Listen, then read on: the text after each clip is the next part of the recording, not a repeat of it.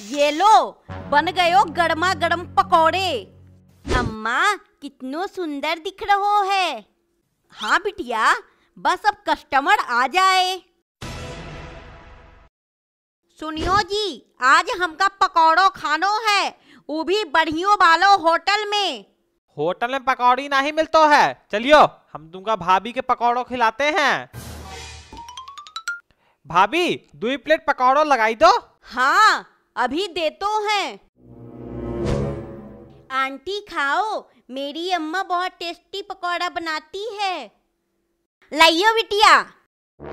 Mummy तुम यहाँ पकौड़े खा रही हो? मैं भी खाऊँगा। तुम दोनों? यहाँ कैसे आ गए हो?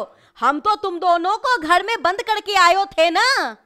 मम्मी बउआ परेशान कर रहा था बाहर जाने के लिए इसलिए मैं दरवाज़ा तोड़ के बउआ को बाहर ले आया। ये लो पकड़ो। मम्मी पकौड़ा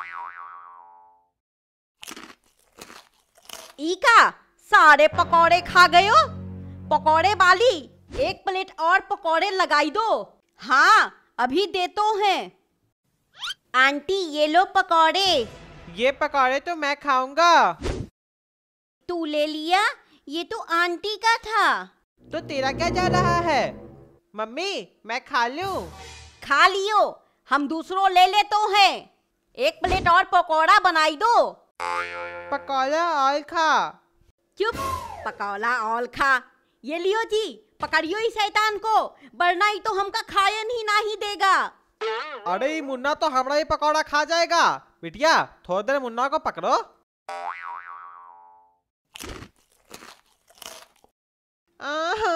पकौड़ा पकौड़ा हम भी का पकौड़ा।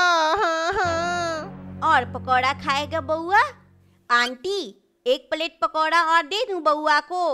नहीं, हमरो बउआ बीमार पड़ जाएगा ज़्यादा पकौड़े खाकर। चलो, बताइयो, कितने पैसे हुओ? तुमरो हो गयो पूरो चार सौ रुपया। का? चार सौ? आंटी, यही रेट है, पूछो अंकल से। ये तो रोज आते हैं पकौड़ा खाने। का? तुम रोज आवत हो यहाँ? अरे नहीं नहीं कभी कभी आ जाते हैं। कभी कभी नहीं अंकल। रोज रोज आते हो और पैसा भी ज़्यादा देते हो रेट से। चुप रहियो बिटिया वरना हम अगला दिन से आने लायक नहीं बचेंगे। अच्छा ऐसी बात है अंकल। तो मैं आंटी को झूठ बोल देती हूँ। आंटी अंकल तो पहली बार आए हैं मेरी दुकान में। है ना अंकल? हाँ हाँ बिटिया। ये देखियो विश्वास हो गए हो ना? फालतू तुम ऐसा करत रहा था हम पर। बेवकूफ़ समझा तो हमका। रुकियो रुकियो, हम तुमका बताते हैं।